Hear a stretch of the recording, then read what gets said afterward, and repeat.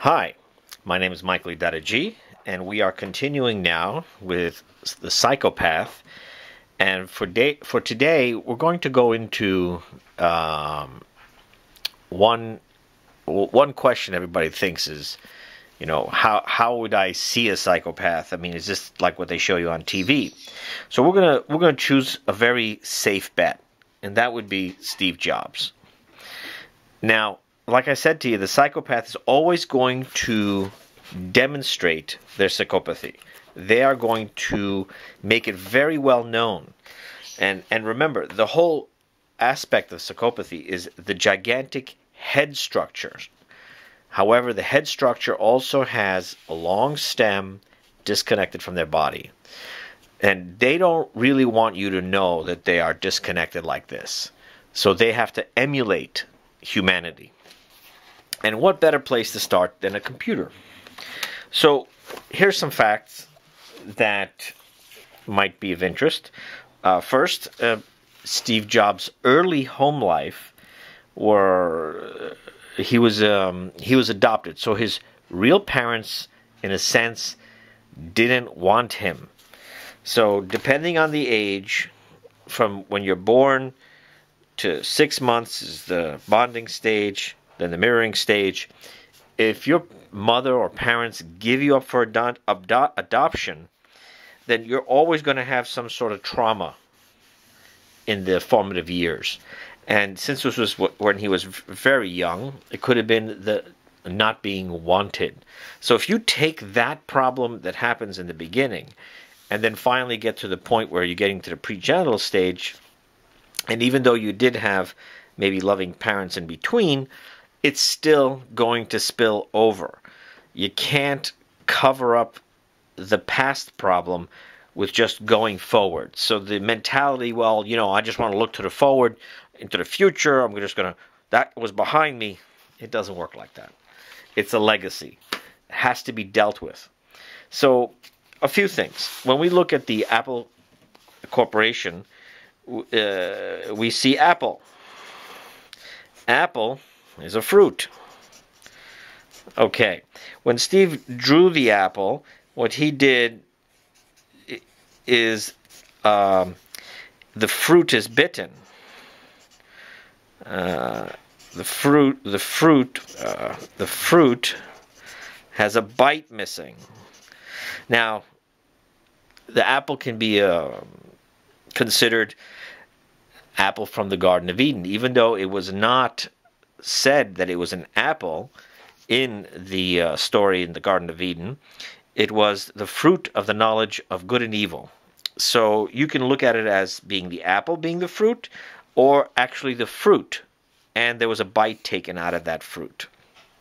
In fact, if you look at some other videos, it actually plays into this a bit with Steve Jobs. So we have an apple, we have it's a fruit. The logo is actually bitten fruit or bitten apple. Now things get a little weird. Steve Jobs had a problem with his pancreas. And his pancreas was uh, failing. He ended up living about four or five more years after he first had the problem with the pancreas. But he didn't listen to his doctors.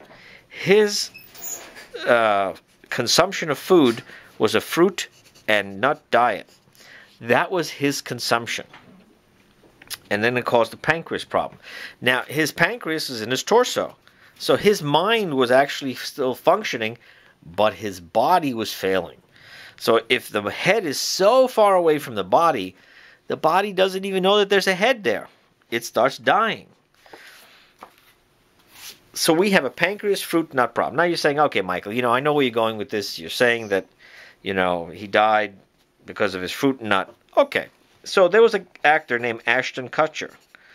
And what Ashton Kutcher did, Kutcher, C U K U T S H E R, something like that. Everybody knows him. He's married to Mila Kunis now. But when Ashton was playing Steve Jobs in one of his roles, he actually started to eat the same diet. He was eating Steve Jobs' fruit and nut diet. Okay, no big deal. Well, guess what? As he was eating his fruit and nut diet, Ashton Kutcher developed a problem with his pancreas. His very own pancreas had the same problem that Steve Jobs was diagnosed and died from. He changed his, uh, he changed his diet, and Ashton Kutcher was okay again. Now, do you think this is a coincidence? Really? You don't think this is something tied into it here? That that Steve Jobs, who, you know, you hear you'll hear me say that I consider him a very big psychopath, big control freak, lots of fear, treats people like they're nothing. The stories are countless. It's a legend uh, from people that work with him how miserable it was working for him. He treated you like a machine because he has no regard for your body. He doesn't understand that. Remember, emotions, body, sympathy, all that stuff is in the torso. The head does not consider you're an entity. From his own sword, from his own thoughts, my thing is he killed himself by accident because of his own arrogance. And that's what God gives you. God gives you what you want. He lets you control. You want to control? You want to be controlling? You'll control your own death. God will give it to you. So now, let's put that aside and let's look at the Apple iPod again, or the iPod products. If you look at all the products, iPod, uh, iPad,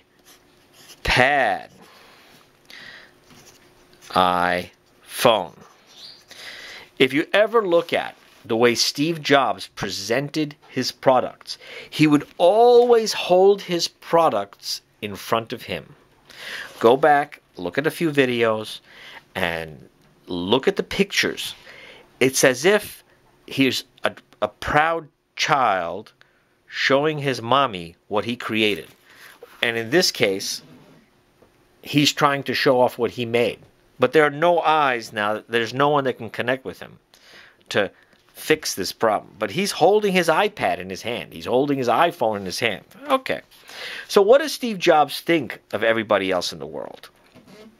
Well, if we look at the iPod, iPhone, iPad, and i whatever that Steve Jobs makes, it's very easy to see that the I part of this is the user or customer. And what is the pad or the pod or the phone? That is Steve's creation. So if you look at everything that Steve Jobs put an I in front of, he made the user or customer diminutive, but he made his manufactured machine capital. You see that? You don't see that? You don't see that he wants to be above all his users? You don't see that relationship when he makes the iPod or iPad or iMac? The I is diminutive. Look. Yeah? All right. We got one more for you. At this time, we're going to discuss a video that was done in 2010, which is going to be in my comment section below. And and this video is the iPad video. And my suggestion is to stop uh, this uh, video right here. Go watch that.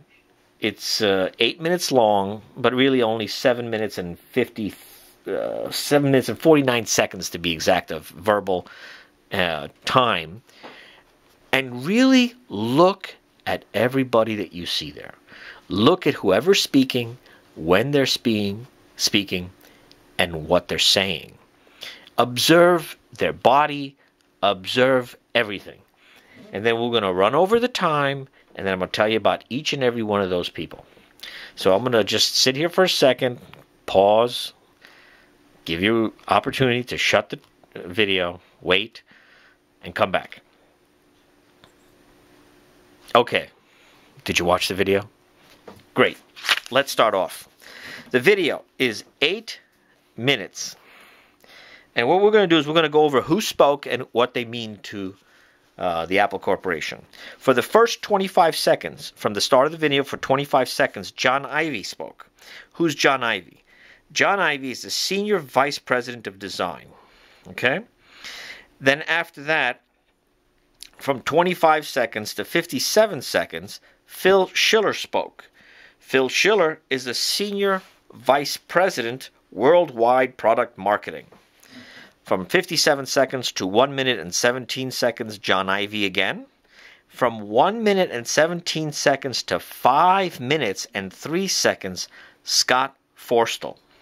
And who's Scott Forstall? He's the Senior Vice President of Software on the iPhone and also other products as well. Back then. He's no longer with Apple now. And we're going to find out why. Then, from 5 minutes and 4 seconds to 6 minutes and 52 seconds, we have Bob Mansfield. Now, what did Bob Mansfield do? He's the Senior Vice President of Hardware. 6 minutes and 54 seconds to 7 minutes and 27 seconds, we have Phil Schiller once again, remember, Senior Vice President, Worldwide Product Marketing. And then the conclusion of the video is 7 minutes and 27 seconds to 7 minutes and 49 seconds. John Ivy, Senior VP Design. Now,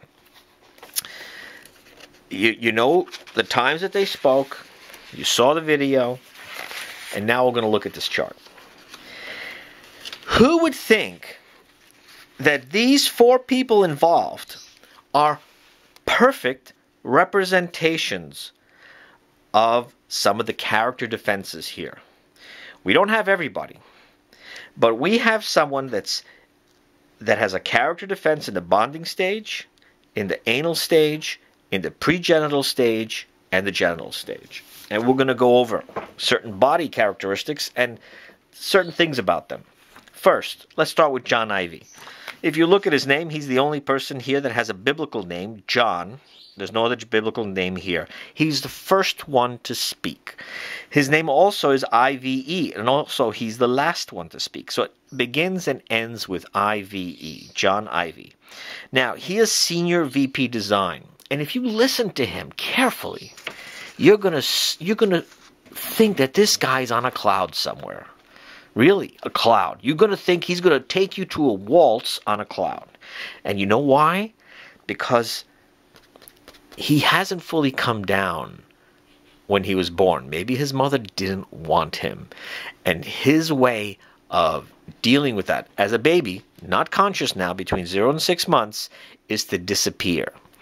These people are thoroughly discussed in my stages of development video, and the creative people, the the the, the artists, the singers, who are pretty much dysfunctional in many ways, but they have this brilliance about them that gives them this beauty. Now, John Ivy was an absolutely non existent person until Steve Jobs died. After Steve Jobs died, he came to shine as a rock star for some reason. And you know why? Because Steve did not want to let John Ivy outshine him. So he had to hide him. And that's a fact. That is a total fact. If, if anyone remembers the videos, if anybody remembers press coverage, you never heard of John Ivy until after Steve Jobs died. Okay, so now the next person, not in order of the video, but in order of which character defense they have, is the anal phase between a year and a half and three. And who's this guy? His name is Bob Mansfield. If you look at his name, and the word man is in there. Bob looks like a tank. He has no neck. Did you notice that in the video? He looks like a tank. Whether the first guy is um, John Ivy. he looks like a butterfly. He sounds like a butterfly. When you look at Bob Mansfield, he's the guy with the big sausage fingers. He's the guy that can crush coconuts. And he is, what does he do? He does hardware. He is extra large reality. He is in charge of hardware. Now, what's really interesting is the next guy. The next guy and the star of our show is Scott Forstall. He spoke from 1 minute and 17 seconds to 5 minutes and 3 seconds. He had probably the most of any two you can combine he spoke the most. And if you really look at him, you're going to see one eye going in one direction, the other guy going in the other direction. You're going to say to me, you know, why am I picking on his look? If you look at him, he also looks creepy. And you know why? Because he represents the full tilt psychopath. Another thing in my stages of development I talk about is that the psychopath, which I didn't say in the previous two or three videos, is that they have maybe oversized eyeballs. And they do. And they have an intimidation look. Some can be very seductive and some can be very intimidating. If you look at Scott Forstall, he has an intimidating, I'm going to hack you up with an axe look. Go back and look at the video if you think that I'm exaggerating. And he had the largest block of time. Why? Because he's the inflated ego. And one more thing about him. What was he in charge of? He was head of software. So, can you imagine the software guy is going to drive the hardware guy crazy? Can you see that? Can you see that Scott Forstall probably punished poor Bob Mansfield on a regular basis? You got to think about that. You can't miss it. It's so obvious. Once you understand the body and the energy and how it works, it's very easy to see. And he deals with software. It's not concrete, the software. It's it's it's something that is not uh, tangible. It does things that we need for the computer, but it's not tangible software. It really isn't. It's a, the non-tangible part of the computer, which is exactly what he does. No substance. No substance. Now, our last person that we're going to talk about is Phil Schiller. Now, who's he? Phil Schiller is what we would call the genital stage trauma of rigidity. He is rigidity. Now, these guys are Mr. Perfect. These guys, on the outside, they look good, they sound good, they're eloquent, they can talk well. Um, you know they're, they're they're achievers in life they're organized anything that a perfect person's going to have it's going to be this guy phil schiller and what does he do he's senior vice president of worldwide product marketing he represents the communication aspect of the character defenses. We have four of the five character defenses laid out in front of us in one not even eight minute video. Other things that Phil Schiller does. You notice his eyes are kind of beady compared to, like, let's say, the pregenital stage of Scott Forstall's eyes, who kind of look oversized. These guys usually have beady eyes. Another thing about these guys, if you're if you're dealing with someone in the rigidity, and you know, I'll tell you something funny about them. They're literally blind. These people, and here's how they're blind. If you have someone that is very neat, compulsive, neurotic, and I imagine Phil Schiller's like that. If I was to talk to him, he'd probably admit it to me. These people count every step. They know where everything is all the time. It's super organized. So if you're not sure if somebody's like that, you know how you drive them crazy? You take everything in their house and you slightly move it a 64th of an inch. Just unnoticeable, you move it. And you know what?